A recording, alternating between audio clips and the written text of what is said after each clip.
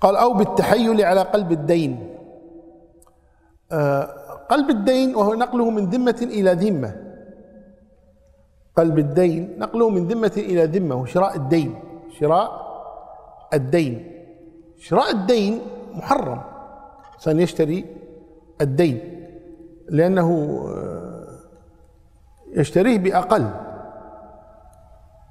يشتريه بأقل بيع الدين بالدين ورد فيه حديث أنه نهى عن بيع الكالئ بالكالئ وهو الدين بالدين. هذه الصورة أن إنسان له دين على شخص ولا يستطيع أن يأخذه منه أو لا يريد أن ينتظر لا يريد أن ينتظر.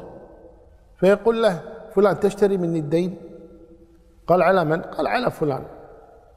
يعني بالكاد كل ثلاثة شهور يعطيني مية أو ميتين وأحيانا يفوت.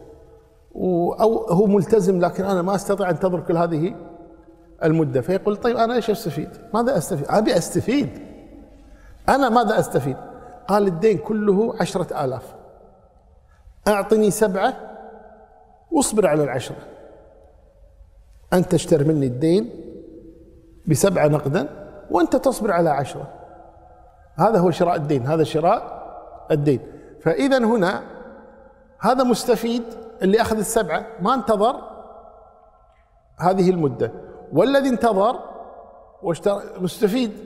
دفع سبعة وأخذ مقابلها عشرة. لكنه في النهاية فيه نوع من القمار.